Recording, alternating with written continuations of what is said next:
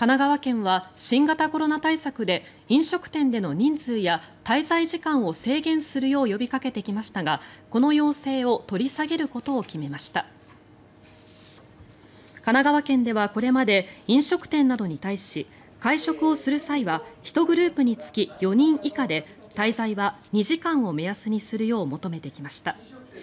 県は今日対策本部会議を開きこれらの要請を取り下げることを決めました。合わせて GoTo イート食事券の販売を来月から再開します。県内の感染状況が落ち着いていることや国の基本的対処方針が変更されたことによるものということです。一方でマスクなしの会話など感染対策は引き続き呼びかけることにしています。